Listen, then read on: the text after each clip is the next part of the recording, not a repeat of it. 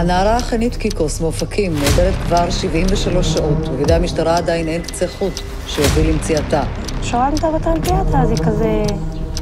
דבר אוטובוס. הרים לנו יד לשלום, והלכנו. לא, בואי הביתה. אנחנו לא יכולים לחיות בלעדייך. חנית.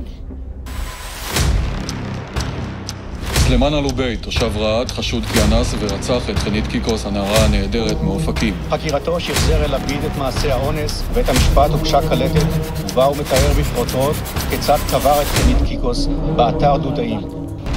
אכלתי את הדרך.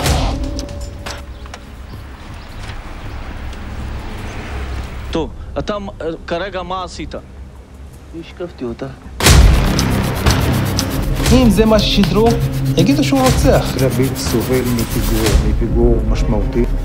מול הישראלים אתה עדיין נקרא קטן, ערבי, העבד, בוא נקרא להם, העבדים. כל הראיות הושמדו. אל אביב לא זכה לראות פעם אחת עורך דין. במקרה הזה, לא היה לי רגע אחד של ספק שהוא חף מפשע. היו שני עורכי דינים, גם זילברמן וגם השניים האחרונים. בשלב הזה לא היו לו, כמה שאני יודעת.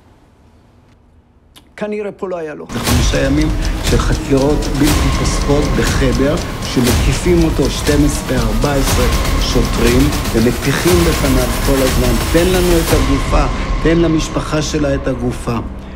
אז הוא הודה.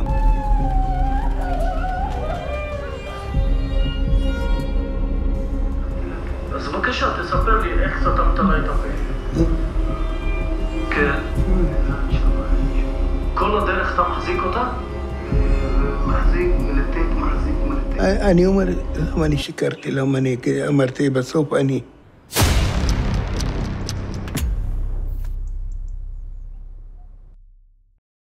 Available now on video on demand.